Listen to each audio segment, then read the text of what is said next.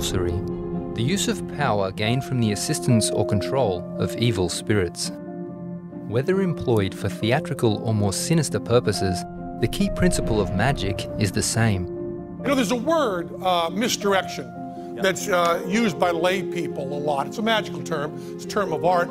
And the way lay people use it is wrong because lay people often use it as a, as a synonym for distraction. Like, hey, look over there, do something sneaky here, and then you look back and the, the trick's done. That doesn't fool anyone. Mm-hmm. The way we use the word misdirection is kind of a, a curating of attention, giving the audience a story they can tell themselves that lets them not really know they were distracted. We're going to do a trick right now using misdirection. In the words of magician T.A. Waters, misdirection is the cornerstone of nearly all successful magic. Yet to talk of magic, sorcery, and witchcraft as separate entities is nothing more than a play on words. The Bible plainly condemns all sorcerers and magicians. And prior to the 18th century Enlightenment, sorcery and witchcraft were perceived by all Christendom to be demonic agencies.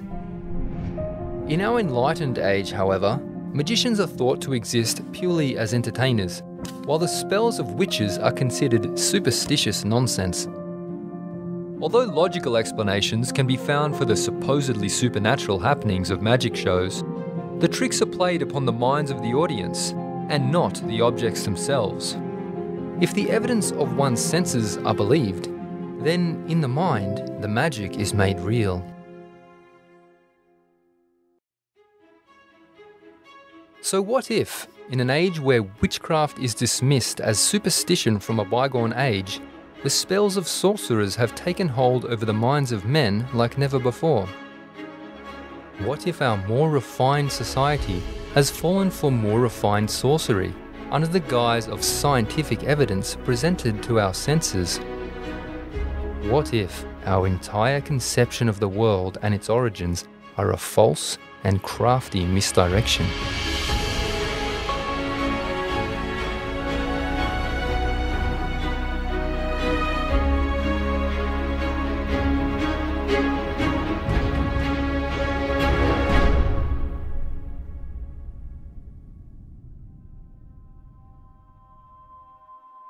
Prior to the mid 16th century, sun centered cosmology was an abandoned concept, laying dormant between the dusty pages of ancient manuscripts.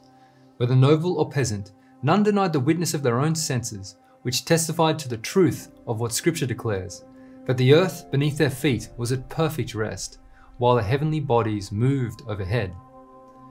That this geocentric view of cosmology was widely held is confirmed by historian Andrew Dickson White, who was both an evolutionist and supporter of the heliocentric model.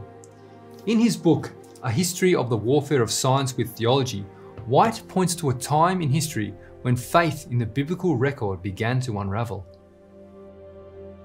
In the latter half of the 16th century, these evolutionary theories seemed to take more definite form. For there came, one after the other, five of the greatest men our race has produced Copernicus, Kepler, Galileo, Descartes, and Newton, and when their work was done, the old theological conception of the universe was gone. The spacious firmament on high, the Almighty enthroned upon the circle of the heavens, and with his own hands, or with angels as his agents, keeping sun, moon, and planets in motion for the benefit of the earth, opening and closing the windows of heaven, letting down upon the earth the waters above the firmament, setting his bow in the cloud, hanging out signs and wonders, hurling comets, casting forth lightnings to scare the wicked, and shaking the earth in his wrath. All this had disappeared. These five men had given a new divine revelation to the world, and through the last, Newton, had come a vast new conception, destined to be fatal to the old theory of creation. These men gave a new basis for the theory of evolution as distinguished from the theory of creation. As the adept magician draws attention away from that which would expose his deception, the captivating theories of these five men directed the eyes of the people away from the one reliable detector of error. We will soon see that these five men of science were in fact devout pupils of the earliest of magicians, their ideas springing not from observation and experiment, but from the ancient writings in which they were engrossed. To understand why such an attack was expedient for the sorcerers of this world, we must go back to the time when the heated dispute over cosmology began, the dawn of the Protestant Reformation.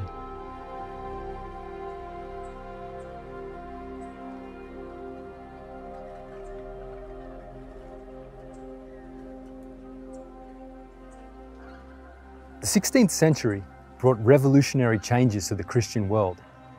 For over a thousand years, the Roman papacy had withheld the key of knowledge from the nations whose kings had bowed to her presumed authority. During these dark ages, popes and priests blasphemously sat in the place of Christ as mediator between God and man. Locked in a prison house of superstition and fear, the people were taught that outside of Rome's favour, there was no salvation. As for Rome, her usurped dominion over the minds of men stood for as long as the words of life were concealed from the people. Desperate to perpetuate the moral paralysis, the clergy alone were permitted to read the Bible, the common people being forbidden under pain of death.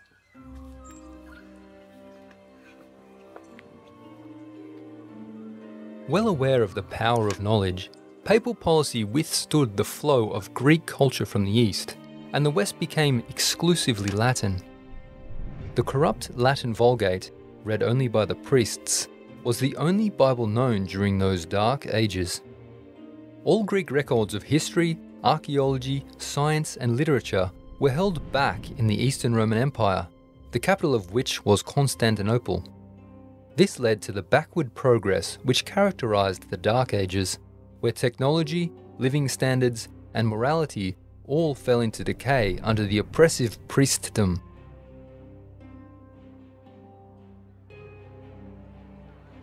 It was the absence of the light of knowledge, particularly that of Scripture, that made those ages dark. Yet through the dreary centuries, brave souls at times stood up among the Roman clergy, daring to oppose the darkness. One such soul was John Wycliffe, who, in defiance of the spiritual tyranny, translated the Latin Bible into the English language.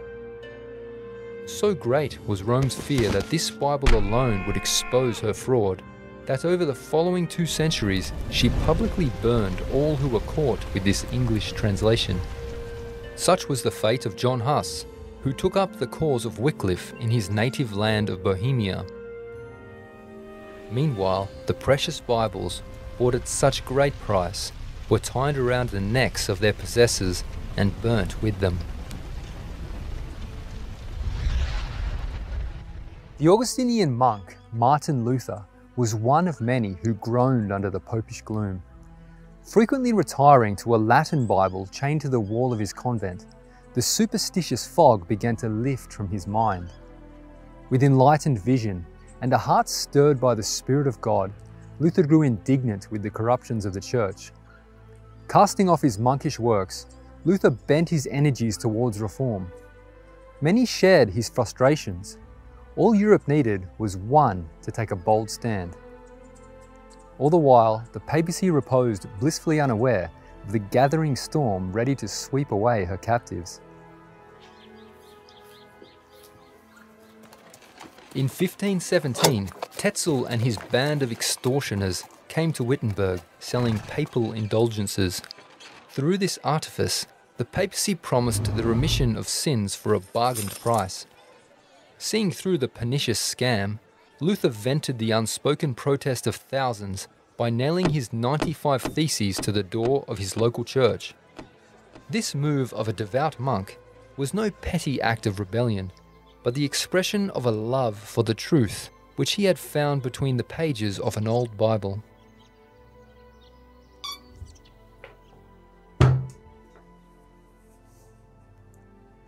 Little did Luther realize the resounding effects this simple act would have.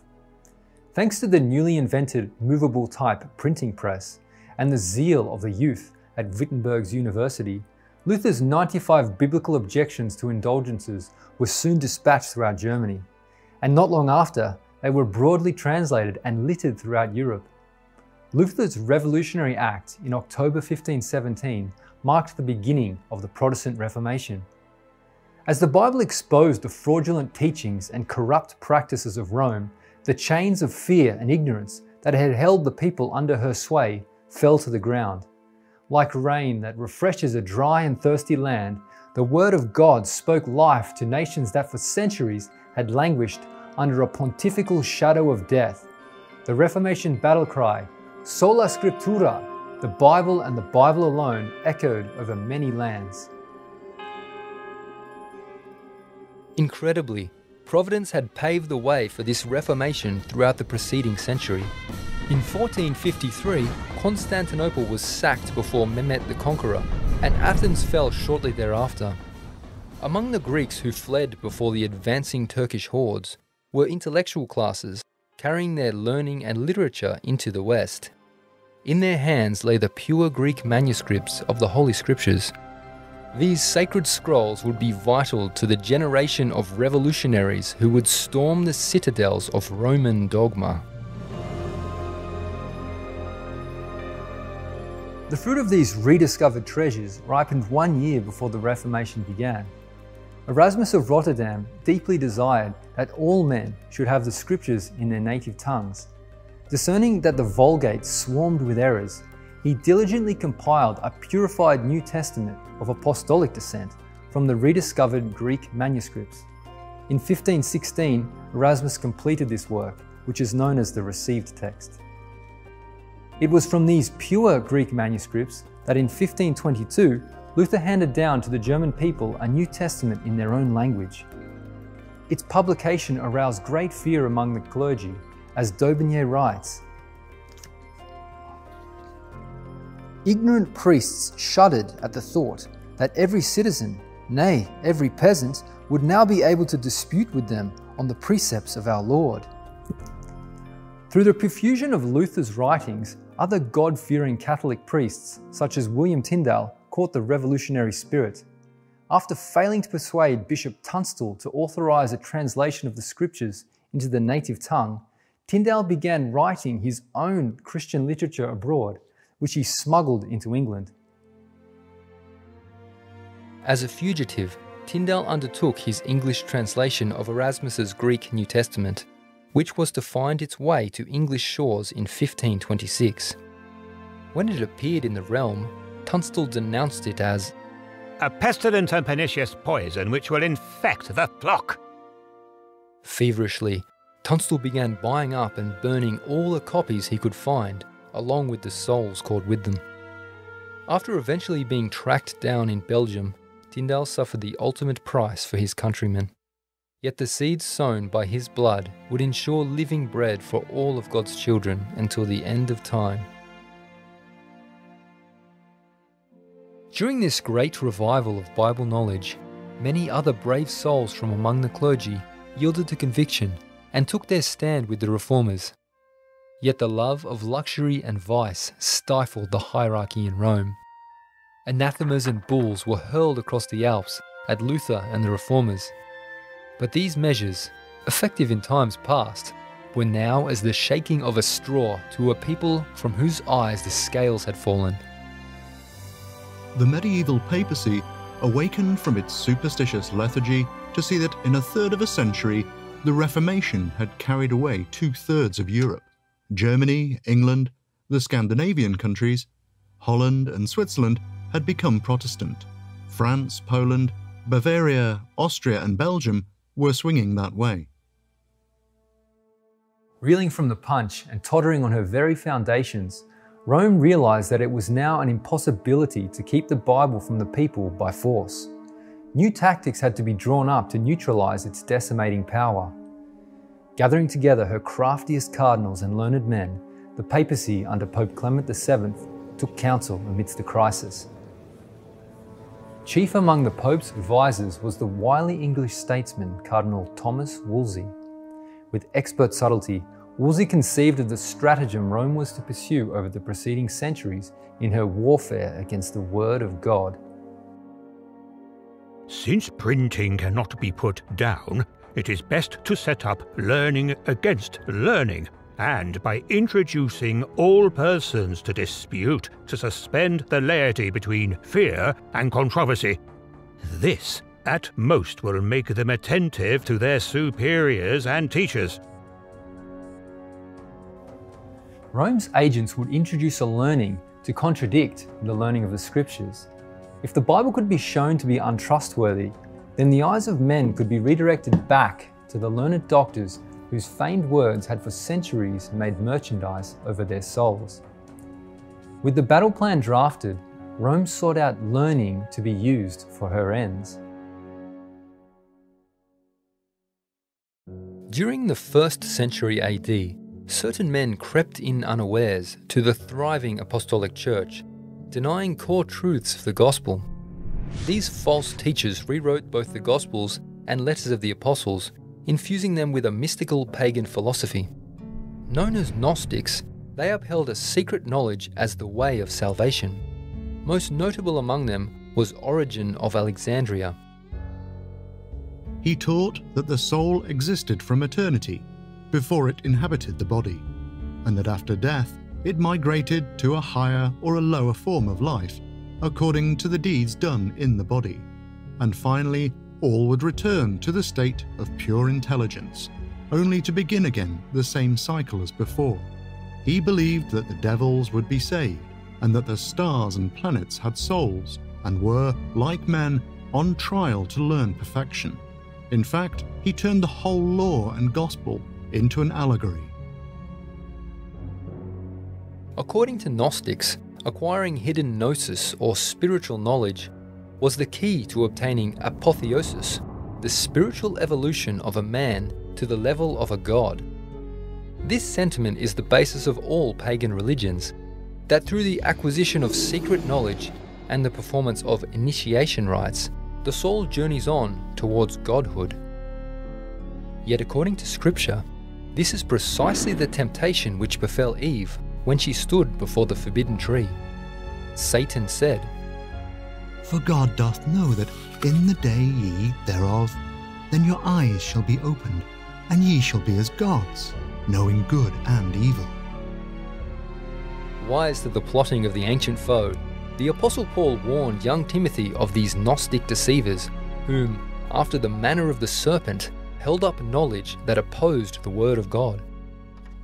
O Timothy, keep that which is committed to thy trust, avoiding profane and vain babblings, and oppositions of science falsely so called. As the centuries progressed, it was the triumph of these heresies over the churches that led to the falling away prophesied by Paul, the setting up of the man of sin, and the dark ages of papal oppression.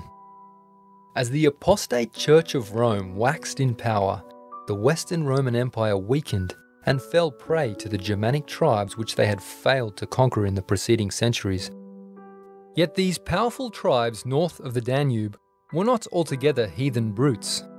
Before their migration, the Goths had been converted to the gospel, not by Rome, but by the missionary efforts of Ulfilas, the Gothic tribes were driven into the Roman Empire by the advancing Huns, and as their powerful battle axes hewed a path towards the city which had long terrified the world, they abstained from many of the barbarities which accompanied the invasion of Britain by the heathen Saxons. Known as Arians, the unshakable faith of the Ostrogoths, the Vandals, and the Heruli made them heretics to the apostate Church of Rome. But among the larger part of the barbarian tribes, Rome found useful material for her ends, as d'Aubigné explains. The barbarians who had invaded and settled in the West after being satiated with blood and plunder lowered their reeking swords before the intellectual power that met them face to face. Recently converted to Christianity, ignorant of the spiritual character of the church, and feeling the want of a certain external pomp in religion, they prostrated themselves, half savage and half heathen as they were, at the feet of the high priest of Rome. In an attempt to validate her apostasy before these new converts, the papacy commissioned Jerome to produce a Latin Bible that supported their Gnostic teachings. Jerome's work known today as the Vulgate, was based upon the corrupted manuscripts of Origen of Alexandria. This corrupt translation was to be the only Bible Europe knew until the fall of Constantinople. During the 16th century, the Reformers' circulation of pure Bibles in common languages pushed aside much of the rubbish that had for centuries covered the truth. Yet in response, the heirs of Gnosticism reached deeper into that heathen toolbox of specious learning for more rubbish to smother the rekindled faith of ages. A fresh supply of beguiling mysticism had recently arrived in the West. Along with those pure Greek manuscripts that had made their way into the hands of Erasmus, Gnostic learning was also born by the hands of Byzantine scholars who had fled the advancing Turks. An enormous trove of Gnostic learning had been brought from the eastern Mediterranean by agents of Clement VII's great grandfather, Cosimo de' Medici. These celebrated mystical, scientific, and philosophical scrolls and manuscripts flattered humanity. Cosimo had stored huge quantities of this pagan material in his library in Florence. The Medici Library, whose final architect was Michelangelo, welcomed scholars favoured by the papacy. These scholars, not surprisingly, soon began emulating the papacy in focusing more upon humanity than upon the Old and New Testaments. So extensive was the Medici Library's philosophical influence that even scholars today consider it the cradle of Western civilization. From the spring of these mystical texts came the revered artworks, literature, and theatre of the Renaissance. It was through this material, at the bloom of the Reformation, that Rome sought to recapture the share of man's mind that might otherwise be directed towards the Bible. Perceiving the injurious effect this deluge of paganism was having on faith and morals, Martin Luther, in the year 1520, issued an appeal to the ruling classes of Germany, pleading with them that Scripture be the mainstay of all education. I am much afraid that the universities will prove to be the great gates of hell, unless they diligently labor in explaining the Holy Scriptures and engraving them in the hearts of youth. I advise no one to place his child where the Scriptures do not reign paramount. Every institution in which men are not unceasingly occupied with the Word of God must become corrupt. As the Counter Reformation progressed over the centuries, the papacy's militia, the Jesuit order, would from these heathen oracles build a curriculum known as Ratio Studiorum, or Method of Study. As Tupper Saussy explains in his expose on the Jesuits, During its four centuries of existence, the Jesuit educational theatrical enterprise has produced a proud, poised, and imaginative graduate. He or she is enlightened by the Medici Library's humanities, facile in worldly matters, moved by theatricality, and indifferent toward Holy Scripture. Producing Jesuitic graduates has become the aim of modern public education. the Bible is the cornerstone of accurate history, true science, and noble literature. As the psalmist declares, The entrance of thy words giveth light, it giveth understanding unto the simple. The mind unfettered through the Holy Scriptures cannot be overcome by spiritual wickedness in high places. Therefore, the objective of Ratio Studiorum was the Bible's obscurity. Thus, in the early years of the Reformation, artists and writers, such as Jesuitic playwright William Shakespeare, vividly depicted the fleshly scenes of the base passions of humanity. Protestants flocked to gawk upon the refined scenes of envy, jealousy, murder, debauchery, and witchcraft. With minds engrossed and consciences made dull, the perverted moral tastes of these audiences lost their relish for the wholesome words of Jesus.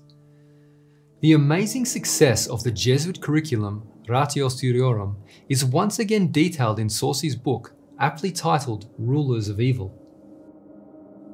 America's understanding has been systematically bent to the will of the church militant, while the intellectual means for sensing the capture have been disconnected.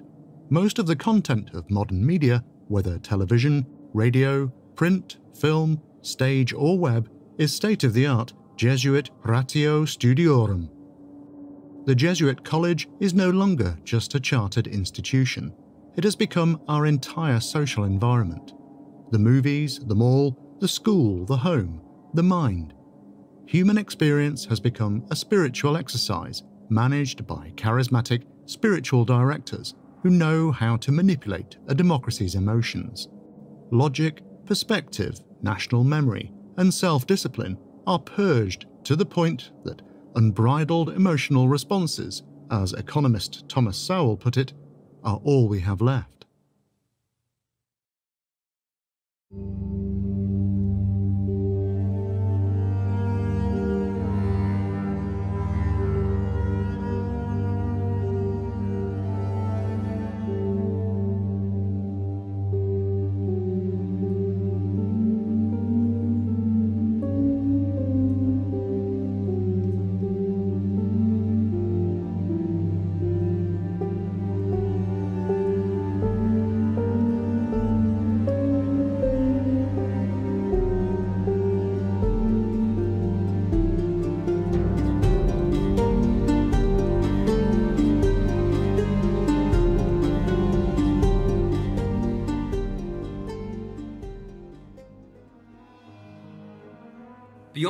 Base distractions from the gospel, by far the most formidable weapons drawn from heathenism took the guise of scientific theories.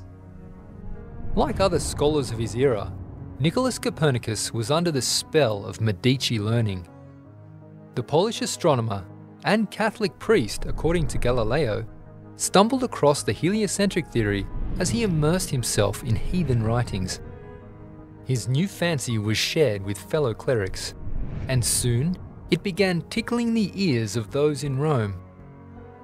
In 1533, the Pope's personal secretary, Johann Albrecht Widmanstätter, outlined Copernicus's findings before Pope Clement VII and his cardinals. The Pope was impressed and gave his personal approval of the heliocentric theory. The idea of a spherical Earth was not new to the scholastics of the 16th century owing to their love of Greek philosophers such as Plato, who held to a geocentric globe. However, the scholars had not yet dared to assert that the Earth rotated around the Sun, for they well knew the biblical position that the Sun moved over a stationary Earth. Yet the crisis called for bolder steps. After hearing the heliocentric theory in detail, the scholastics discerned that this sun centered pagan cosmology stood in direct opposition to the Earth centered system that Scripture describes. Recognizing the potential damage this new theory could inflict upon faith in the Scriptures, one of the cardinals, of whom we may have little doubt was in the audience of the lecture given years earlier, appealed to the astronomer. Cardinal Nicholas von Schönberg wrote a letter to Copernicus in 1536, urging him, Communicate this discovery of yours to scholars Copernicus would later publish this high profile letter in his book on the revolutions of the heavenly spheres. Notwithstanding this invitation, Copernicus was reluctant to face the storm of controversy that would follow such an open attack on the scriptures, and he stalled in publishing his work until the year of his death in 1543.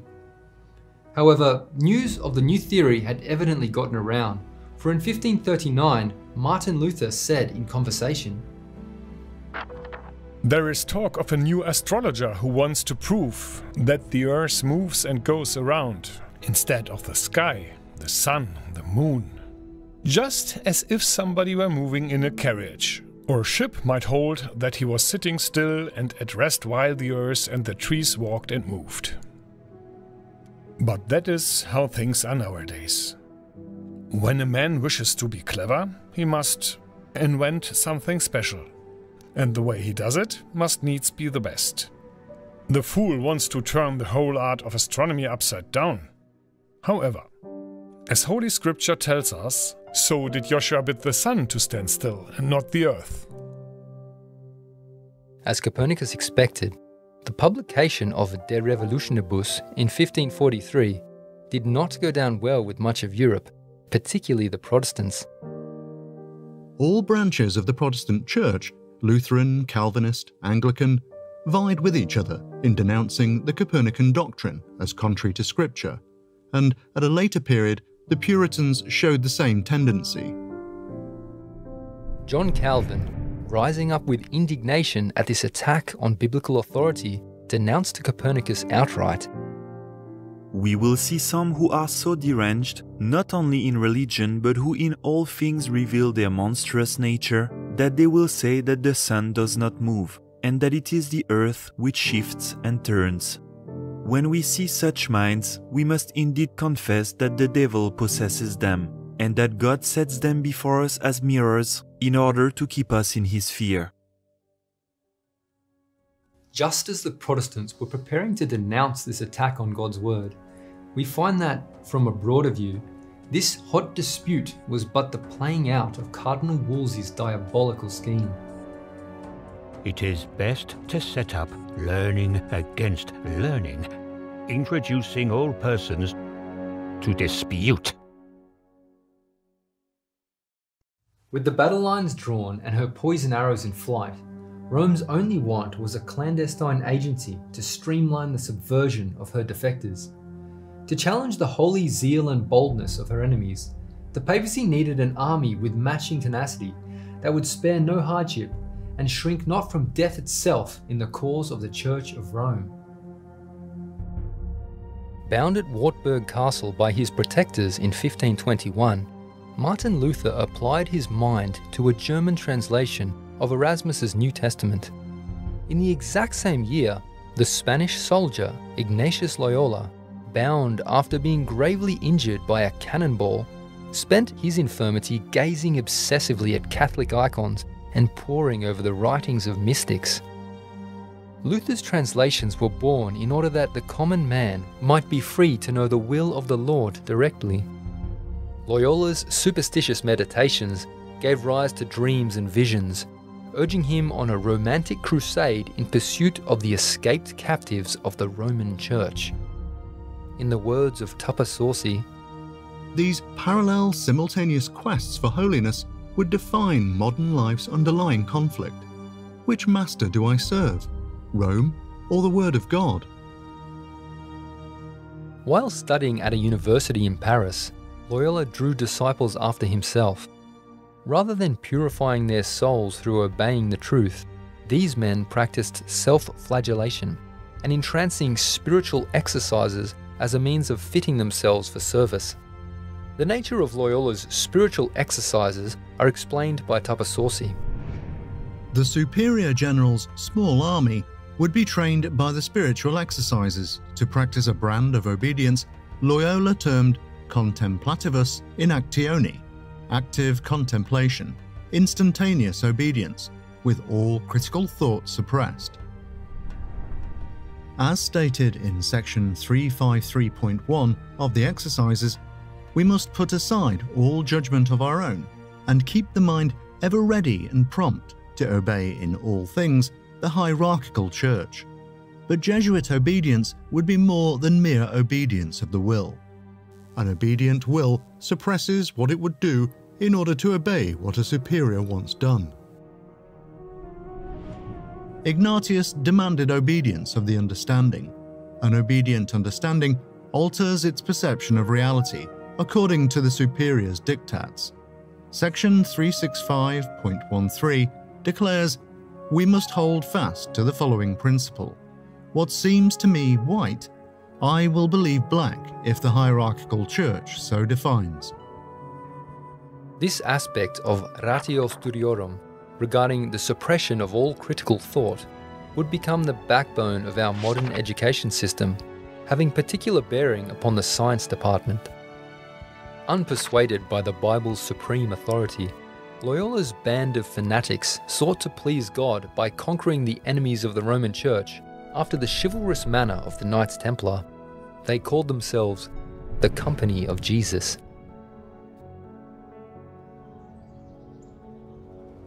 As Protestant Bibles multiplied and the crisis deepened, Ignatius seized his opportunity. Ushering himself into the presence of Pope Paul III in 1539, Ignatius laid out his business plan with words to the following effect Let the Augustinians continue to shut themselves up in their cloisters for study and meditation. Let the Benedictines continue to pursue lines of literature. Let the Dominicans continue to hunt down and drag heretics before the Inquisition. But we, the Jesuits, will raid Protestant universities and colleges. We will take control of the institutions of law, literature, science, and every branch of education. And we shall weed out from their minds anything injurious to Roman Catholicism. Through our instruction, we will recast the minds of youth after our image. Yea, we will infiltrate enemy territories as doctors, lawyers, poets, authors, scholars, reforming theologians, archaeologists, philosophers, financiers, scientists, or whatever guise the Church may demand or require for her ends. Secretly climbing into the courts of heretical kings, we will direct the course of nations. Thus, in time, the New Testament of Erasmus will fade into insignificance, and all shall again give heed to the engines of our Mother Church. When Ignatius had finished his presentation, Pope Paul III reportedly cried out, This is the finger stroke of God! and on September 27, 1540, sealed his approval with a papal bull formally ordaining the Jesuit order.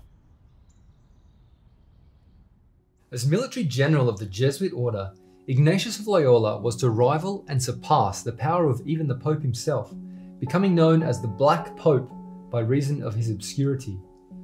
Five years after the Jesuits were ordained, the Council of Trent convened. When this council was over, in 1563, the papacy began marching to the drum of Papa Nero. Meanwhile, in England, the prayer of the dying martyr had found an answer. The king's eyes had been opened to the folly of fighting against the circulation of Tyndale's English Bible translations. The effect being that during the reign of Queen Elizabeth, England superseded Germany as the leading force in the Reformation. Jealous for her former prey, Rome set her sights upon the source of her woes, William Tyndale's Bible. In an effort to quell its growing power, Jesuit scholars quickly got to work on their own translation immediately following the Council of Trent. The Douay Rheims New Testament was first published in 1582, while a complete Bible was produced in 1610. Based on the Latin Vulgate, this English translation swarmed with corruptions designed to support Catholic dogma. Poised for an intellectual attack, the plan was for the Douay Rheims to supersede Tyndale's translation and thereby wean Protestant England back to Catholicism. What's fascinating is that among the countless corruptions found in the Douay Rheims lies a description of the earth as a globe. No English translation of the Bible, before or after the Douay Rheims, has applied the word globe for the Hebrew word kug in their rendition of Isaiah 40:22. Not even the Vulgate, from which it was translated, contains a spherical reference. And yet, the Douay Rheims contains other subtle changes supporting the model of cosmology which Rome was urging, such as Proverbs 8:26, which mentions the poles of the world. Proverbs 8:26 reads rather differently in the King James, as well as innumerable other translations. It simply states, "While as yet he had not made the earth, nor the fields, nor the highest part of the dust of the world." This historical document, the Douay Rheims Bible of 1610, is proof positive that by the early 17th century, the globular earth was authorized Roman Catholic doctrine, and this usurper of a Bible containing the very word globe was being employed by the Jesuits for the downfall of Protestant England. The appearance of this Jesuit Bible on English shores in 1582 was recognised at once to be a danger to the fledgling world power, threatening to drive a wedge between England's Protestants and Catholics. The wise of England called upon the Puritan scholar Thomas Cartwright to meet this Goliath of Roman sophistry. His pen soon felled the literary insurgent in the sight of all the English realm, who were led to despise the article of priestcraft.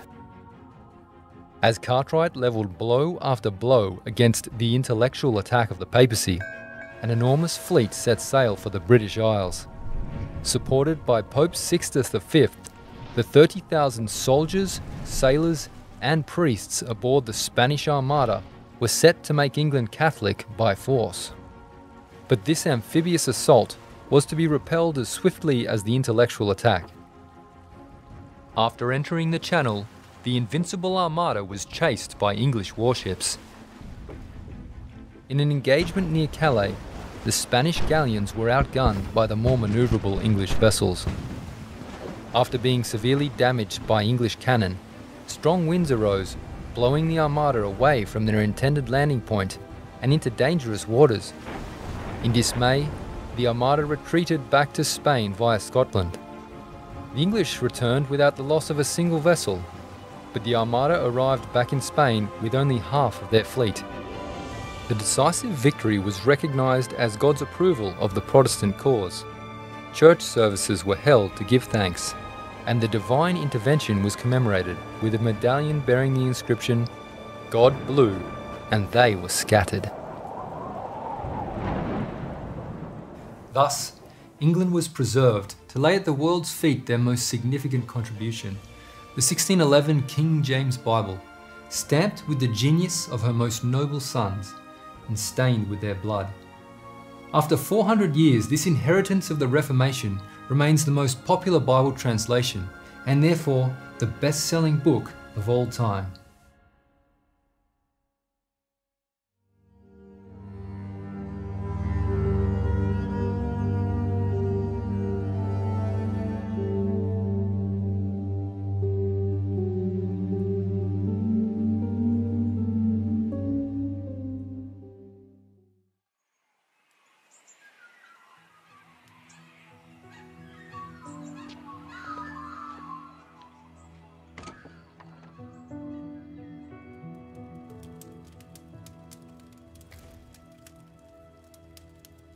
Spite of Rome's best efforts, the Polish astronomer's theory had gained little ground against the Bible. Protestants at large spurned Copernicus owing to their leaders' attacks on him and to his close affiliation with the papacy. Taking the bad press of anything Catholic into account, the Jesuits began to enlist advocates for their faith destroying science whom Protestants could warm to. One such person was Galileo Galilei. The Galileo affair was not a question of round versus flat, but of heliocentric versus geocentric. It appears that, at this time, the sphericity or flatness of the Earth was not the hottest point of contention. What Protestants like Martin Luther had decidedly opposed was that the Earth moved around the Sun, due to the multitude of scriptures against such a claim. Deliberated by Jesuit Cardinal Robert Bellarmine the stage was set to re-agitate the Copernican proposition. Applying the wisdom of the ancient proverb, the enemy of my enemy is my friend, news of the heliocentrist being persecuted for his beliefs spread throughout Europe. As Jesuit astronomer Guy Consolmagno admits regarding the trial of Galileo, it's not what you think it is. One thing that I do want to say about Galileo, three points. Galileo was a devout Catholic. Even after his trial, Galileo was actually never convicted of being a heretic. The conviction that when they said, we, we found you guilty of heresy, you, you can read the transcript of the trial. It's not what you think it is. It's Galileo saying, What did I do wrong? I'll change it, please. And they saying, Nope, sorry, we can't let you do that. Very odd. At the end, they said, So we found you guilty of heresy. It looks like they had written the, the verdict before the trial even began. And Galileo said, Well, actually, you never did find me guilty of any heresy. So he was found guilty of vehement suspicion of heresy. And the famous scene where he has to abjure his teachings, what he actually says is, and, and writes and signs, is I reject anything and everything in my writings which is contrary to the teachings of the church. without ever specifying any of those things. I mean, he could have been a Jesuit, right? It cannot be said that Galileo was teaching anything contrary to the teachings of the Church. For the heliocentric theory had been summoned up from obscurity by one of her own clerics, and then published at the request of Rome's highest ranking cardinals 70 years earlier. Guy Consolmagno drops a few clues as to what the Galileo affair was really about. Nobody knows really why Galileo was gone after. For most of Galileo's life, he was lionized. He was treated like a hero, including by people in the church. When Galileo got into trouble at the end of his life, it was a real shock. It was a complete reversal of everything that had been said up to that point. And so the historical question is why did it happen? And the answer is we don't know. You can go to Amazon.com and find 300 books on Galileo, every one of them with a different answer, which is to say, there was something going on, and it wasn't simply a science versus religion thing. If you relied on JFK the movie to figure out what happened in the assassination of Kennedy, you'd be in as good shape.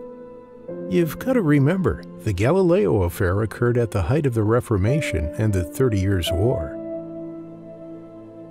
By comparing the Galileo affair to a conspiratorial account of the JFK assassination, Consolmagno reiterates the point it's not what you think it is. Reading between the lines, this Jesuit priest is telling us that the whole event was a conspiracy, orchestrated by Rome that took place at the height of the Reformation. The way we use the word misdirection is kind of a, a curating of attention, giving the audience a story they can tell themselves that lets them not really know they were distracted.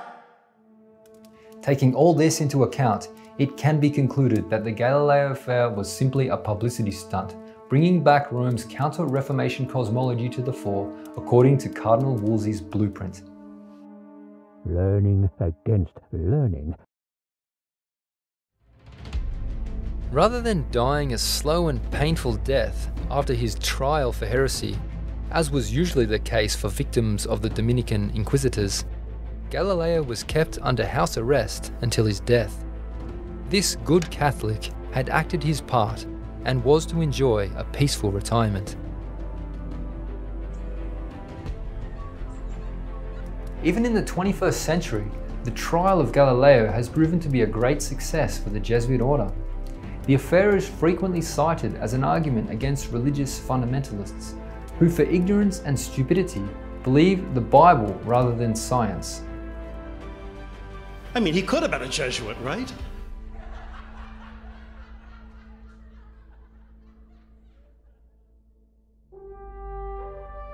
Rome's hope of restoring Catholicism to English shores by force had sunk with the Spanish Armada in 1588. Jesuit assassination attempts, such as the Gunpowder Plot, left Protestant England wide awake to the identity of her enemy. Jesuit priests, such as Edmund Campion, were hanged, drawn, and quartered if found practicing their treasonous craft in the English realm. What Rome now needed was a secret bridge across which her learning against learning could be trafficked.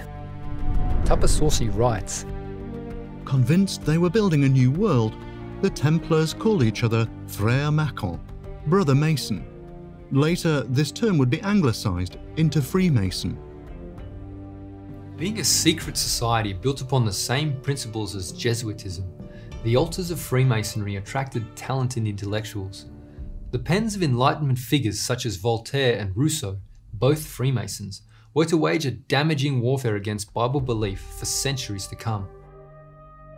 Deism, which is in essence a revamped form of ancient paganism, was conjured up at Masonic temples and hailed as the thinking man's alternative to Roman Catholicism. Akin to their Jesuit brethren, these neo pagans stood unpersuaded by the Bible's supreme authority. Such sought answers by studying the natural world, not through the lens of Holy Writ, but through the beguiling mysticism found in the Medici Library.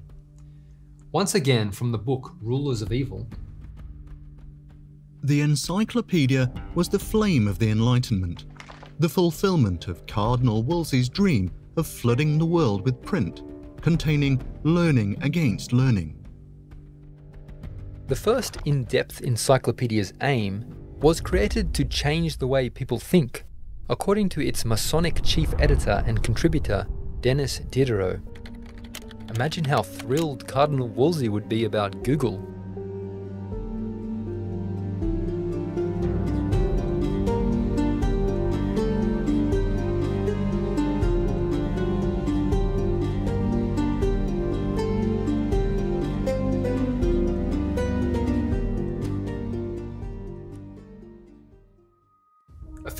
Condemned by the Pope in 1728, Jesuit bashing Freemasons served Rome well by vanquishing the threat of the order that controlled them incognito. One such Freemason that answered to his unknown superior, the Black Pope, was Isaac Newton. Hailed as one of the most brilliant scientists of all time, Newton's most notable contribution was a great triumph for Rome's heliocentric doctrine as NASA scientist Holly Rebick explains. In 1687, Isaac Newton put the final nail in the coffin for the Aristotelian geocentric view of the universe. Building on Kepler's laws, Newton explained why the planets moved as they did around the Sun, and he gave the force that kept them in check a name gravity. The pagan philosophers from whose writings Copernicus and Kepler built upon wrote of the heavenly bodies being embedded in layers of rotating spheres made up of an ethereal transparent fifth element. This earlier heliocentric conception is referred to as the celestial spheres. However, Newton's theory of gravity, along with his mathematical postulations regarding the motions of heavenly bodies, did away with the need for these transparent orbs. It was Newton's unproven speculations concerning gravity that managed to imbue the heliocentric theory with scientific credibility, just as Dickson White declares. Through the last, Newton had come a vast new conception, destined to be fatal to the old theory of creation. But upon deeper examination of the work and practice of Isaac Newton, some details emerge which would cause to blush those who desire to view him as an objective and rational scientist.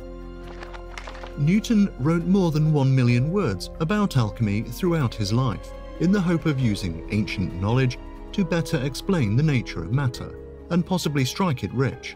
But academics have long tiptoed around this connection, since alchemy is usually dismissed as mystical pseudoscience, full of fanciful, discredited processes.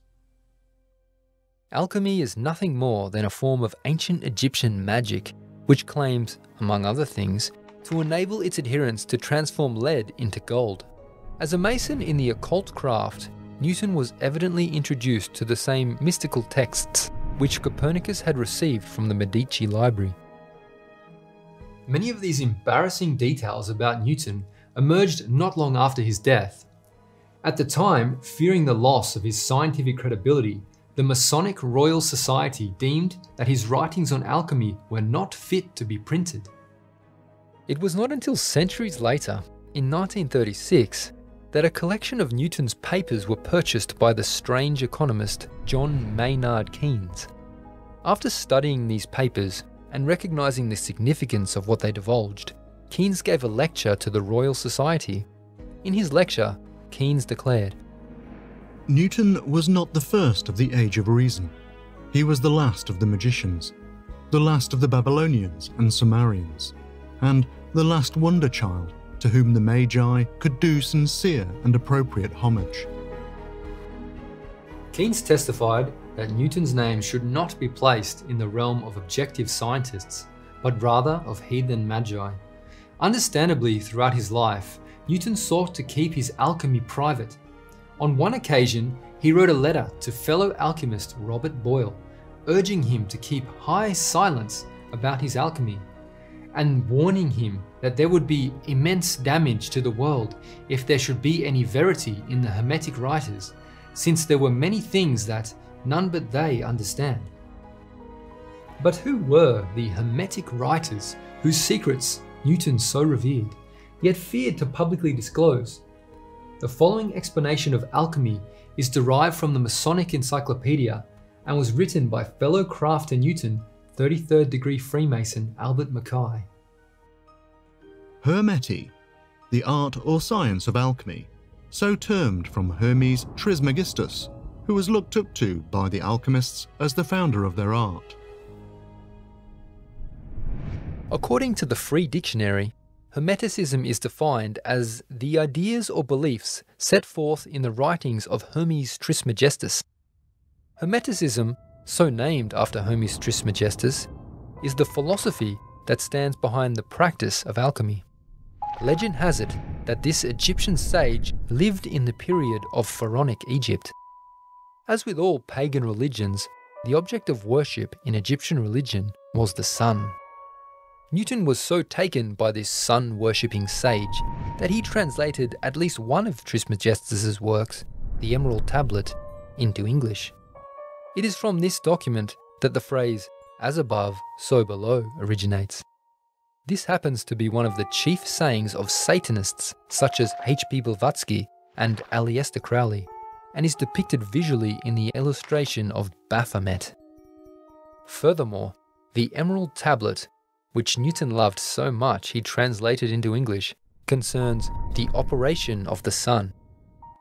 Interestingly, Trismegistus's explanation contains a shadowy notion that sounds remarkably similar to Newton's theory. Its force is above all force, for it vanquishes every subtle thing and penetrates every solid thing.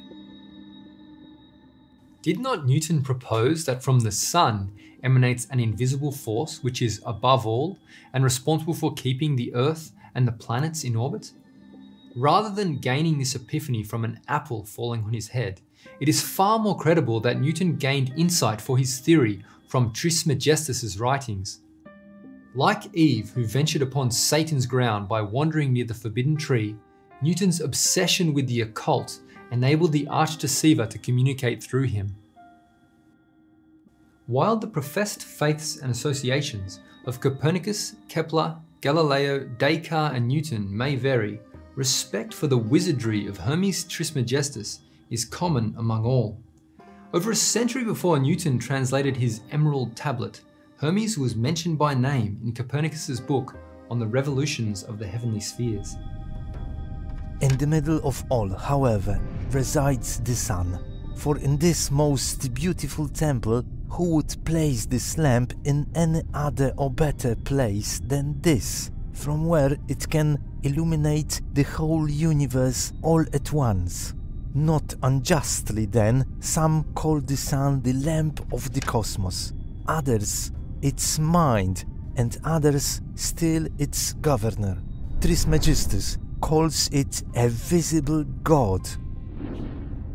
Such ramblings betray what is perhaps an unwelcome reality to many that the heliocentric science promoted by Copernicus and others is nothing more than a religion, and more specifically, a pagan religion, which places the sun as its god at the center of worship around which all the planets, bearing the names of pagan deities, orbit in reverent obeisance.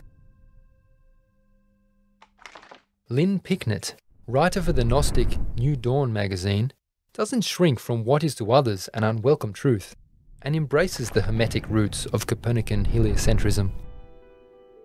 Essentially, Copernicus was claiming to have found mathematical and physical proof for principles that are set out without proof in the Hermetic books.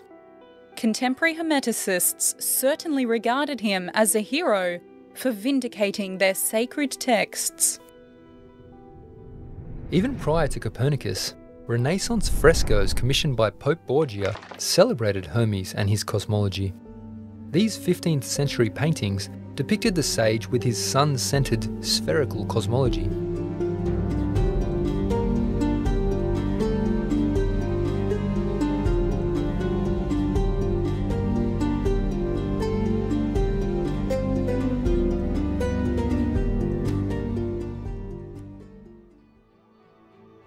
Revered astronomer Johannes Kepler, most famous for postulating that the tides are caused by the moon's gravity, expressed his twisted obsession with Egyptian religion in his book, The Harmony of the World, which seeks to explain planetary motion around the Sun. Kepler eerily stated A few days after the pure sun of that most wonderful study began to shine, nothing restrains me. It is my pleasure to yield to the inspired frenzy. It is my pleasure to taunt mortal men with the candid acknowledgement that I am stealing the golden vessels of the Egyptians to build a tabernacle to my god from them, far, far away from the boundaries of Egypt. I cast the die and I write the book. Kepler's Golden Vessels of Egypt are a subtle but unmistakable allusion to the Hermetic writings which clearly inspired his scientific propositions. Thus, there can be little doubt that Hermes' mystical scrolls were the spring of inspiration behind the celebrated pioneers of heliocentrism. Legend has it that even the classical proponents of a spherical Earth were instructed by this father of lies, as Mackey's Encyclopedia of Freemasonry explains. Hermes Trismegistus, or the Thrice Great, who was a celebrated Egyptian legislator, priest, and philosopher who lived in the reign of Ninus. This mythical Egyptian philosopher was in fact considered as the inventor of everything known to the human intellect. It was fabled that Pythagoras and Plato had derived their knowledge from him, and that he had recorded his inventions on pillars. That Trismegistus was the human father of sun centered cosmology is supported by the following quotation. Notice how brightly the sun centered theory shines in the following excerpt from his own work. For the sun is situated at the center of the cosmos, wearing it like a crown. Around the sun are the six spheres that depend from it the sphere of the fixed stars, the six of the planets, and the one that surrounds the earth. With penetrating foresight, the learned Erasmus of Rotterdam perceived the outcome of this obsession with heathen writings that was captivating the scholastics of his day. In the year before the Reformation began, Erasmus declared, I have a fear, and it is that with the study of ancient literature, ancient paganism will reappear. As previously stated, ancient pagan religions, as a rule, placed the sun at the center of their worship. To make this embarrassing detail more palatable, the fact was usually obfuscated by personifying the sun as some chivalrous leader of heroic escapades. While the modern graduate of Ratio Studiorum may look down his nose at these ancient pagans for believing such fanciful tales, he himself is steeped in the same old myths, repackaged in modern form. While the baser reproductions of pagan myth may be shrugged off as entertainment, so slick has been the sleight of hand that even those who deem themselves irreligious are, by virtue of their scientific beliefs, paying homage to the same deities as the pagans of antiquity.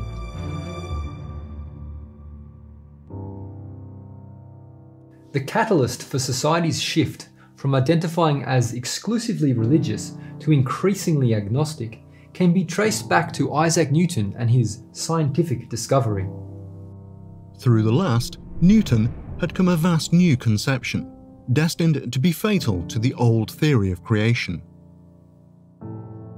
Newton postulated that an invisible force emanating from the sun held worlds in order, giving way to the paradigm that a mechanical explanation can be found for all the mysteries of life. Deism, a supposed knowledge of God based exclusively upon human reason, sprung up in the wake of Newton's discoveries. Newtonian laws rendered God's miraculous power redundant to the minds that received them. The effect being that men began to conceive of their infinitely loving Creator as an absent parent who took a backseat role in the affairs of men and the workings of their habitation. As a result, the restraining fear of God vanished from their hearts. Emboldened in their wicked designs, the pernicious effect of this false science was quickly realized. ¡Viva la revolución! On the 28th of July 1794, the beheading of French politician Maximilien Robespierre brought an end to the Reign of Terror, that bloody segment of the French Revolution in which more than 16,000 people were executed. The world stood aghast at the bloody scenes of chaos which unfolded in that prestigious nation of Europe. However, the cause of this tumult is easily ascertained. The bloody turmoil of the French Revolution was observed by the world to be a direct result of the ideology put forth by Voltaire and others. An ideology which attacked the Bible and its author. Voltaire expressed his antagonism towards the Bible in his Philosophical Dictionary. The Bible. That is what fools have written, what imbeciles command, what rogues teach and young children are made to learn by heart. Voltaire's deistic disposition was fortified during a two year visit to England, where he acquired a taste for Newtonian philosophy. As Professor John Lienhard at the University of Houston explains, the science of Newton played no small role in the carnage which Voltaire's words would germinate. So Voltaire took the new English science, rationalism tempered with observation, back to France. Those ideas soon ran away from him and started a revolution beyond anything he'd ever intended. And so it was at length Isaac Newton who put the terribly disruptive engines of the French Revolution into motion.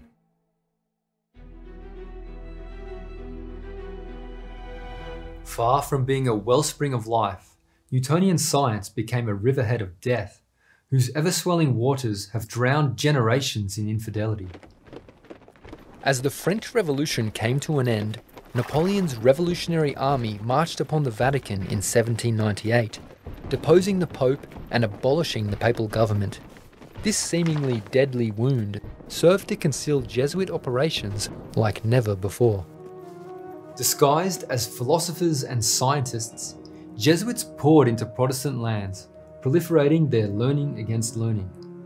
Masonic Enlightenment ideology took deep root in Protestant populations, incurring further distrust for the Bible and weakening the people's discernment in preparation for the secret enemy's next installment.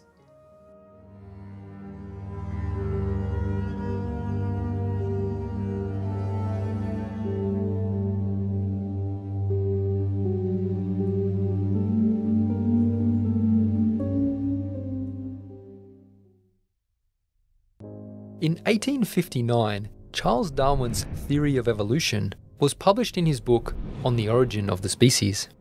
However, these ideas did not originate with Charles himself. According to the staff at Harvard University, Erasmus Darwin, Charles Darwin's grandfather, was the first Briton to explicitly write about evolution. His main prose on the topic appears in the first volume of Zoonomia. As master of the famous Masonic Canongate Lodge in Edinburgh, Erasmus Darwin had close ties with both the Jacobin Masons, the organisers of the bloody revolution in France, and the infamous Illuminati. Being a deist, Erasmus's neo-pagan sentiments shined through the title of his famous poem, The Temple of Nature. In light of the deep Masonic connections of the Darwin family, it may be concluded that the science they put forward was merely an expression of their occult doctrine. In The Meaning of Masonry, Freemason Walter Wilmshurst explains that the presiding sentiment of Freemasonry is the spiritual evolution of man into God. This, the evolution of man into Superman, was always the purpose of the ancient mysteries, and the real purpose of modern Masonry is not the social and charitable purposes to which so much attention is paid, but the expediting of the spiritual evolution of those who aspire to perfect their own nature and transform it into a more godlike quality. And this is a definite science, a royal art, which it is possible for each of us to put into practice. Whilst to join the craft for any other purpose than to study and pursue this science is to misunderstand its meaning. Later on in his book, Wilmshurst expands on this evolutionary concept. Man, who has sprung from the earth and developed through the lower kingdoms of nature to his present rational state, has yet to complete his evolution by becoming a godlike being and unifying his consciousness with the omniscient to promote which is and always has been the sole aim and purpose of all initiation.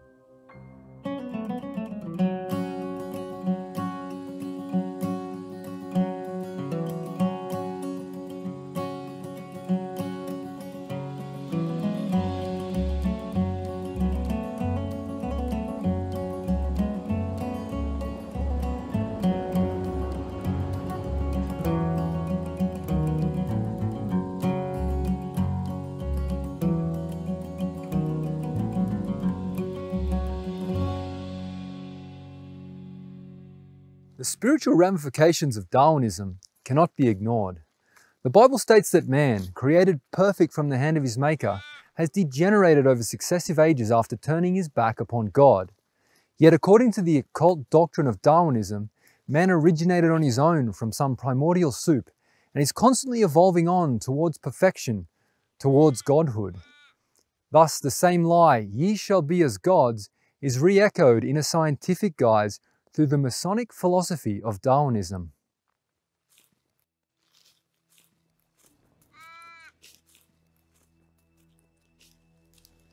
With the world now initiated into the concept of life generated without the need of God, the capstone of the evolutionary model was prepared for fixture.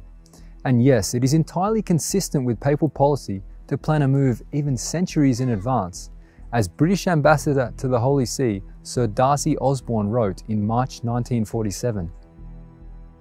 In any case, I long ago realized that it is almost impossible for a layman and a non Catholic, and indeed for most Catholics and ecclesiastics outside the Vatican City, to form a valid judgment or express an authoritative opinion on papal policy. The atmosphere of the Vatican's supernatural and universal, but it is also fourth dimensional and, so to speak, outside of time. For example, they can regard the Savoy dynasty as an interlude and the fascist era as an incident in the history of Rome and Italy. They reckon in centuries and plan for eternity, and this inevitably renders their policy inscrutable, confusing, and, on occasion, reprehensible to practical and time conditioned minds.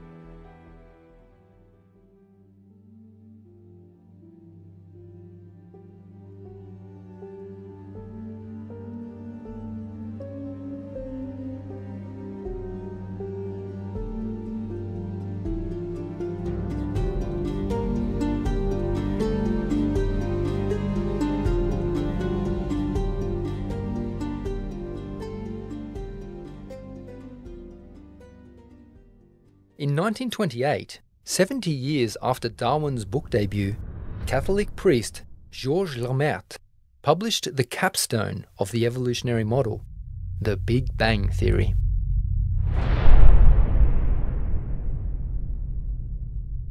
Working on the evolutionary principle of Darwinism, the Big Bang is the only explanation that can be given for the mechanics of the heliocentric model. This is because Without the energy of the Big Bang, there is no scientific explanation for the origin of planetary motion. In an article published by the New York Times, Robert Jastrow, former director of NASA's Goddard Institute for Space Studies, states The general scientific picture that leads to the Big Bang Theory is well known. We have been aware for 50 years that we live in an expanding universe in which all the galaxies around us are moving apart from us and one another at enormous speeds. The universe is blowing up before our eyes as if we are witnessing the aftermath of a gigantic explosion. If we retrace the motions of the outward moving galaxies backward in time, we find that they all come together, so to speak. It was the force of the Big Bang that placed the Earth in its orbit around the Sun hurled the moon into Earth's gravitational field and set the sun in its motion through the galaxy. Thus, one cannot, with intellectual honesty, accept the heliocentric model without also accepting the Big Bang, for no other explanation can be found for the supposed vectors of stars and planets in science or revelation. Yet despite the widespread acceptance of the now complete evolutionary model, there remained neither empirical nor scientific proof for any of it. Scientists had failed to record the motion of the Earth. Pestering voices sprung up from time to time, challenging the paradigm through practical observation and citing scripture to the contrary. Even from science itself came observations threatening to collapse the pseudo-scientific house of cards. Now, one thing, you have a theory about the moon, and we expect to be able to get observable facts about the moon fairly soon. Um, what is your theory? Well, uh, it is by now rather more than a theory. Uh, 10 or 11 years ago, I stated to various scientists that the moon is not a piece of rock, but it is a plasma, a plasma phenomenon, a cosmic plasma, and I'm not taking any risks anymore. On the contrary, uh, there is scientific views expressed all over the world now that uh, the moon uh, seems to be of a quite different nature of what was assumed. But the, the, Americans and Russians are thinking of landing men on it. Uh, well, that will never happen. happen, happen, happen.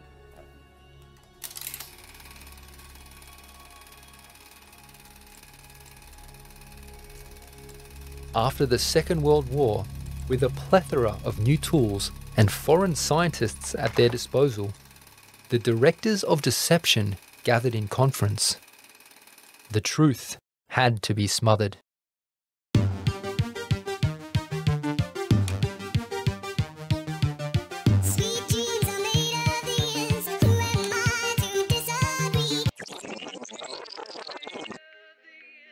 As the most watched television event for decades thereafter, the moon landing of Apollo 11 was the climax of a worldwide religious ritual. The Apollo missions served to further initiate the world into the evolutionary paradigm, the Gnostic sweet dream of a universe devoid of God. Armstrong's famous words resound with the humanistic sentiments of Ratio Studiorum. It's one small step for man, one giant leap for mankind. All nations stood in awe of the achievements of man, uniting them through the power of science. Texas over lines of the American Telephone and Telegraph Company. No event in history will receive such tremendous television coverage as man's first landing on the moon.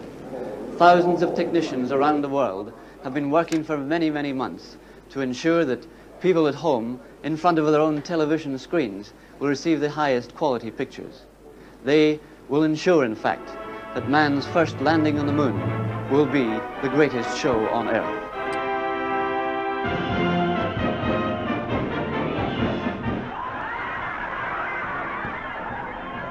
Well, Mr. DeMille? That's a wonderful sound, Ernie. Yeah. Laughter from children. Children of all ages. Everything forgotten. Except the magic world they're in. The circus world. Tinsel and spun candy and thrill.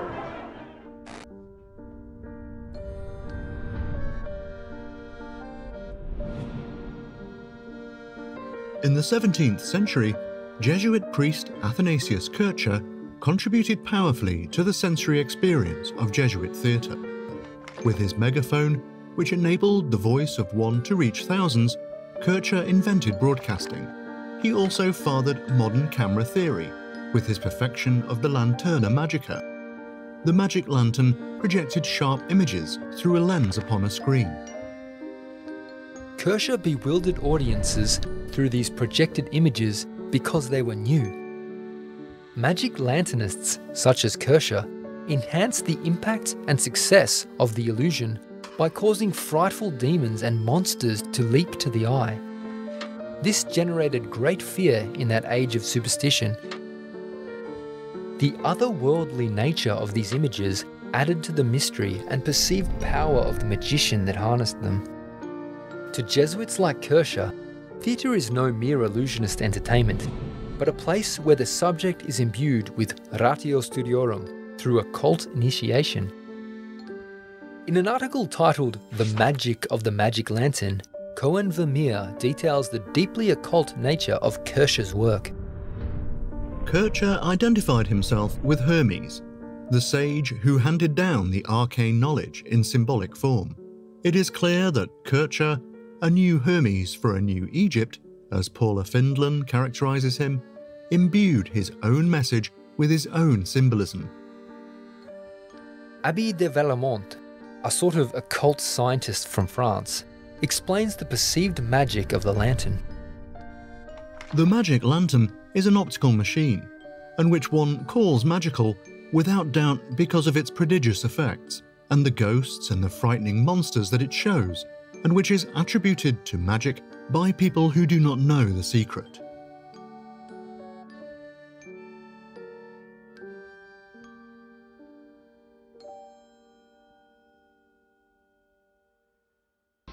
Prime Minister, we weren't allowed to take a sound camera into the uh, tracking station for technical reasons. What did you say to the staff in the tracking station here at Honeysuckle Creek?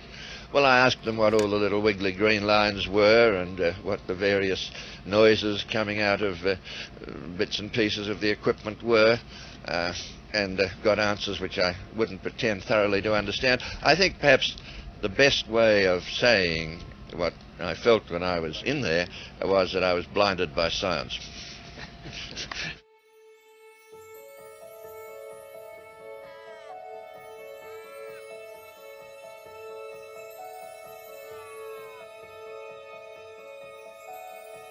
I'm standing at NASA's former tracking station site at Honeysuckle Creek near Canberra, Australia. From the moment of blastoff at Cape Kennedy until the splashdown in the Pacific Ocean, Australian tracking stations near Canberra will send and receive a constant stream of information on the performance of the Apollo 11 moonshot spacecraft and the condition of its crew. In Florida, a towering rocket blasted off with a great puff of smoke and then vanished out of sight. In Canberra, technicians twisted the dials of state of the art equipment while an imposing dish sat before a rising moon. In homes the world over, fuzzy images leapt to the eyes of millions.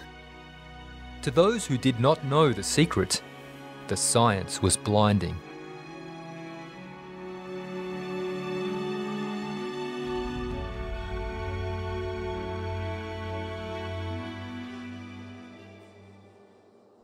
Just as Kircher had done 400 years earlier, new and cutting-edge technology was used to project images upon a screen. On a hung-up sheet, Kircher had materialized the monsters of medieval folk tales. While surmised to exist, no human eye had ever before beheld their forms. Prior to the space age, the blue ball in space had similarly dwelt in the theoretical realm. The classroom and cinema had only guessed at what she looked like. But lo and behold, the darling of post Enlightenment folktales was precisely as Hollywood had depicted. From the moon missions until today, inquiring minds have questioned the authenticity of NASA's images, leaving them no visible proof of Earth's sphericity. But for others, those dubious images and blurry videos have served as a welcome hook to hang their heliocentric hats upon. But the real circus story is more than laughter. It's an exciting story, a human story, a story that was a tremendous problem to film.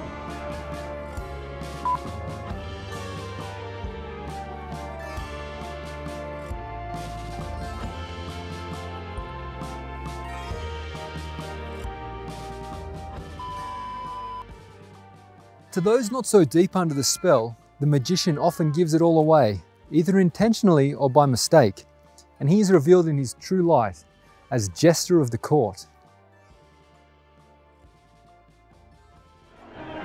You know, one of the reasons we made the greatest show on earth is because the world needs laughter today. That kind of laughter.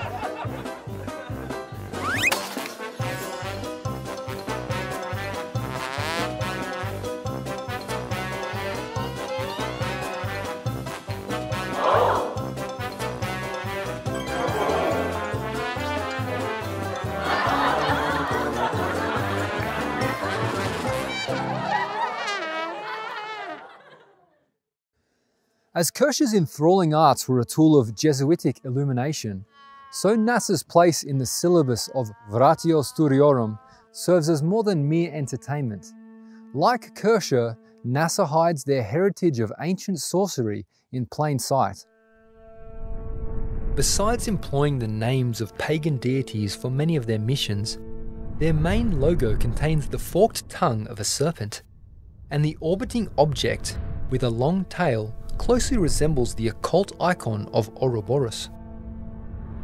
Ouroboros, ancient symbol of a serpent biting its tail, forming a circle.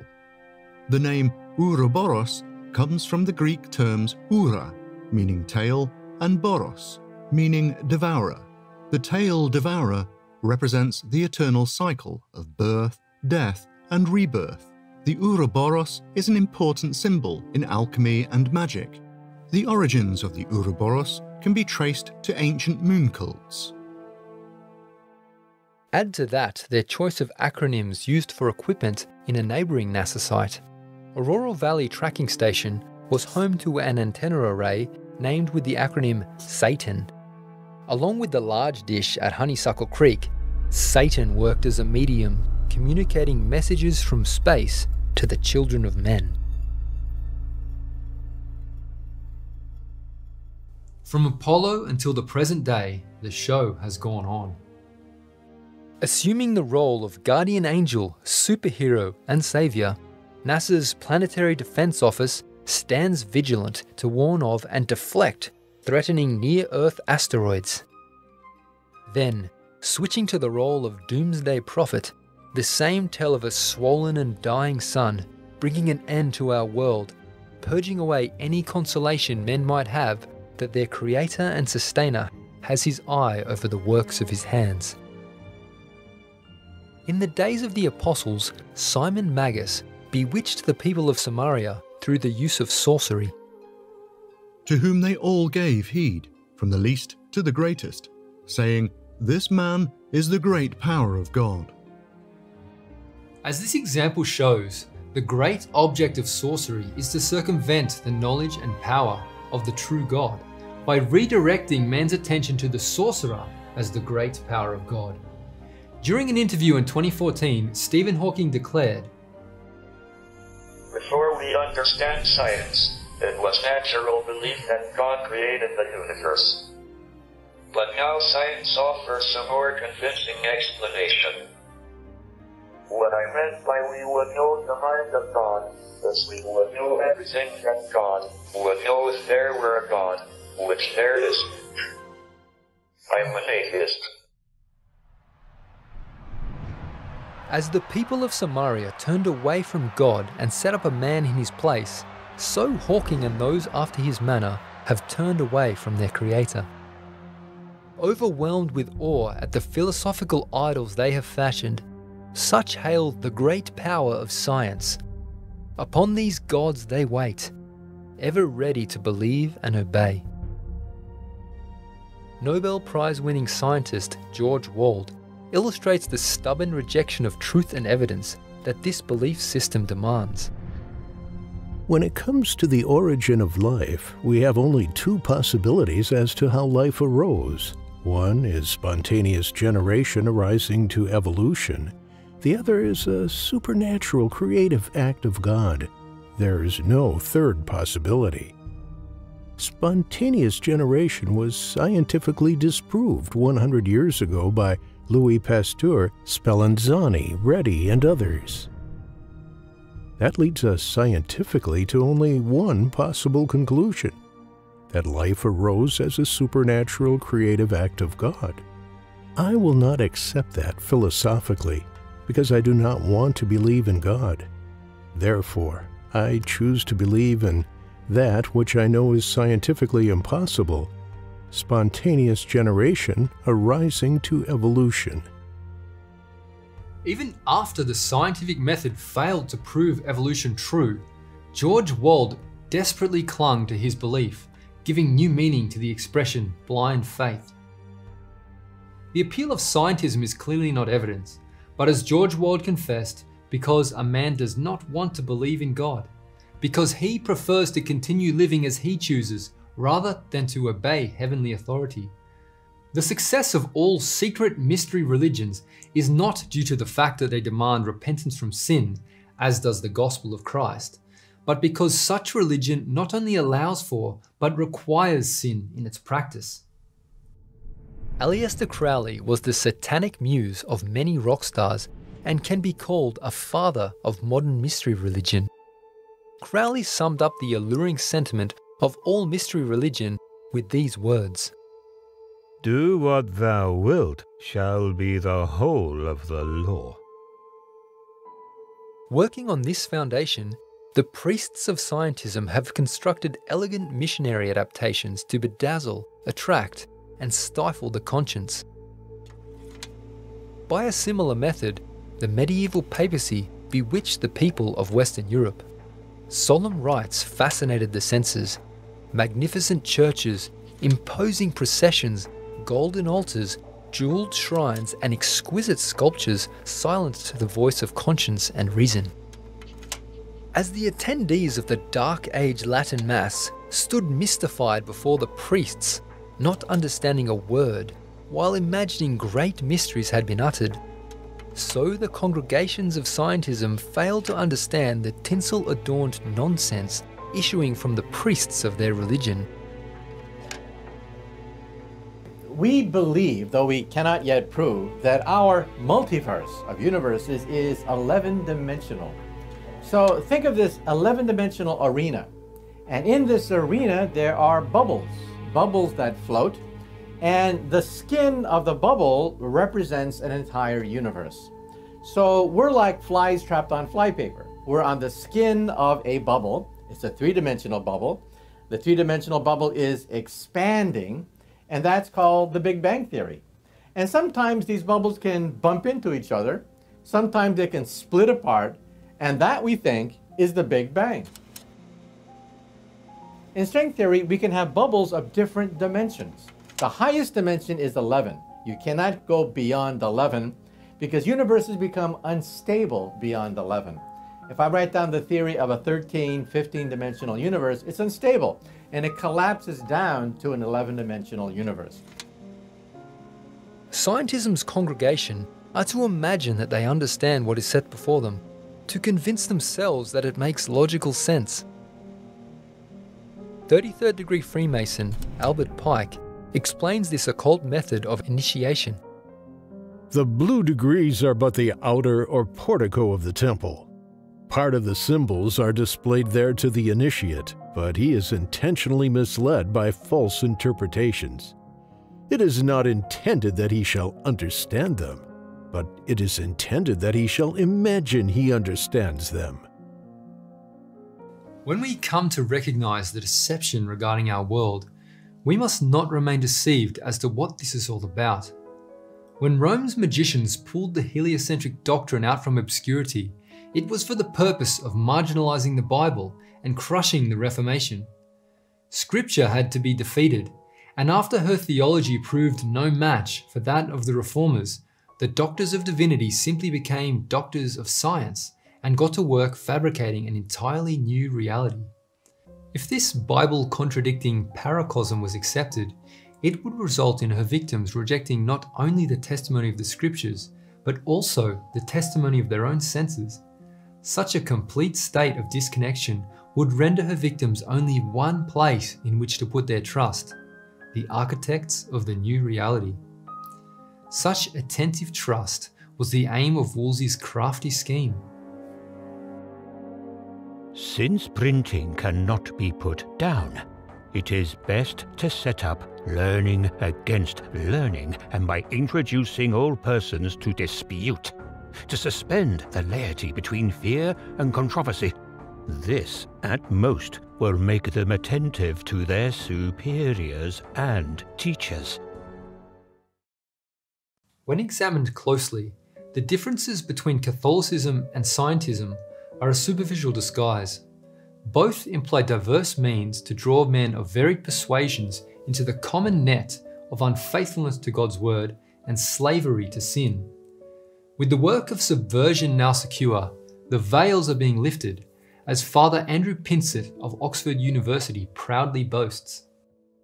Quite often, young people ask me the following question How can you be a priest and believe in the Big Bang? To which I am delighted to respond We invented it. Or more precisely, Father Georges Lemaitre invented the theory that is today called the Big Bang, and everyone should know about him. Pope Francis openly denied the Genesis creation account in favour of evolution. When we read about creation in Genesis, we run the risk of imagining God was a magician with a magic wand able to do everything, but that is not so. Evolution in nature is not inconsistent with the notion of creation because evolution requires the creation of beings that evolve. While both models, the flat Earth and the spinning space ball, may be called religious beliefs, the former is correlated not only by the scriptures, but by the individual's own sensory experience and common sense. Whereas the latter requires the denial of one's own senses and the yielding of the subject's understanding to spiritual directors. For example, as the believer in heliocentrism watches the sun traverse across the sky, he is obliged to imagine that the perceived motion is attributable to the earth beneath his feet, which, while seemingly still, is in fact spinning at up to a thousand miles per hour. But the fool on the hill sees the sun going down, and the eyes in his head see the world spinning round.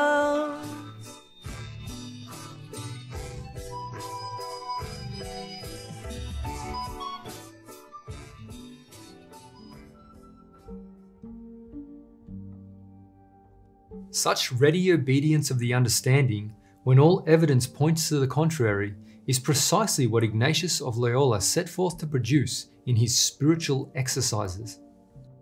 If we wish to proceed securely in all things, we must hold fast to the following principle. What seems to me white, I will believe black, if the hierarchical church so defines. The one that believes the evidence of his own senses and follows the convictions of his conscience is at liberty, his mind independent, his will his own. But when one feels bound to reject the testimony of his own senses in favour of a version of reality that he has neither seen nor tested for himself, he bows his intellect to the superiors and teachers who have done the thinking for him, waiting attentively upon them to tell him what he is allowed to believe. Surveying the unhappy heritage of Protestantism, a civilization of confused beings on the brink of civil war and collapse, the cause of their woes may justly be laid upon the acceptance of this false paradigm, the evolutionary model, the foundation of which is heliocentrism. No lie has obliterated the knowledge of God more effectively than this. As we approach the end of all things revealed in the last chapter of the Bible, the Jesuits no doubt have a few aces left up their sacerdotal sleeves.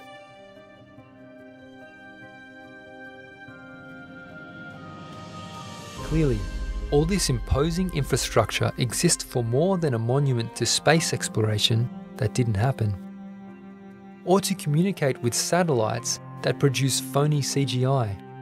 NASA openly displays their connection with magic and the occult, and since all they have ever done is deceive the human race, we may conclude that this equipment is being used for nothing less. In the context of the lead up to the mark of the beast, John the Revelator speaks of a deception involving the heavens. And he doeth great wonders, so that he maketh fire come down from heaven on the earth in the sight of men. More and more, the mainstream news is reporting on UFO sightings. After decades of programming depicting an alien invasion, the world is prepared to accept a strong delusion based in the celestial narrative fathered by the Catholic Church.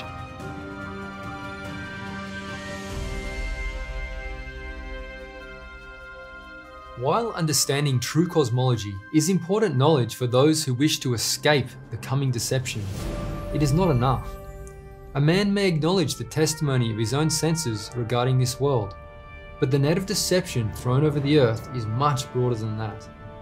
Cosmology is just one aspect of truth which the Bible reveals. As Jesus said, And ye shall know the truth, and the truth shall make you free. The truth of God's Word is the only key to freedom from the mystery religions of this world. While faithfully describing the earthly things that are seen, it no less faithfully portrays the things which are not seen. The Bible contains our true history, our noble origins, and prophesies of glorious things that are to come. It was the truth of God's Word that inspired Martin Luther to trigger the Reformation, setting the captives free. And one of Rome's first responses was Copernican heliocentrism, which Luther and others mercilessly attacked with many a thus saith the Lord. Unquestionably, therefore, to stand for heliocentric science is to stand with Rome in the Counter Reformation. In this modern cosmology conflict, all must settle the question within himself Which master do I serve? Rome or the Word of God?